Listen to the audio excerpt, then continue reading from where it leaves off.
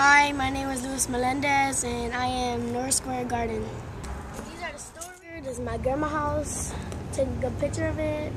Look at the whole mural.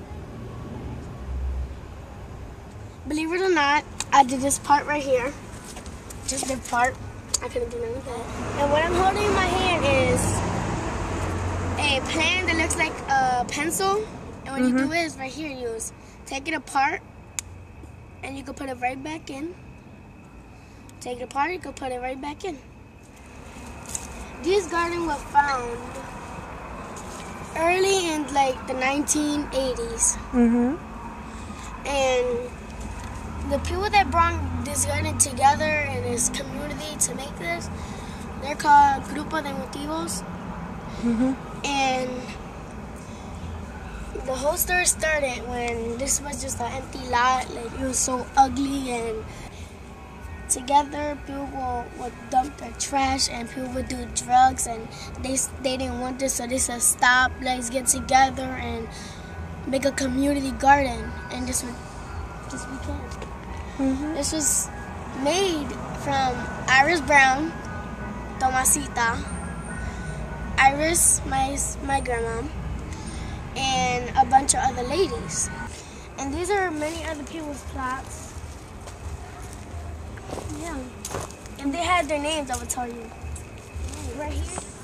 And right here, these are fig trees. And these are figs. When they turn like purpley, I will eat them. And this is a Puerto Rico house.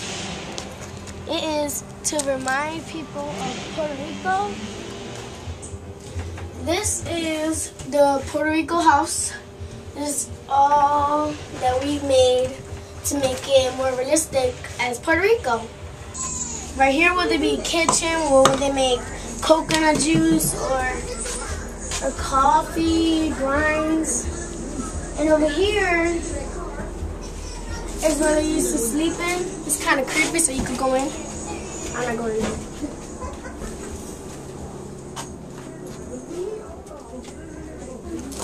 So like if we have a fiesta or when the bomba groups come together to perform, they roast a pig.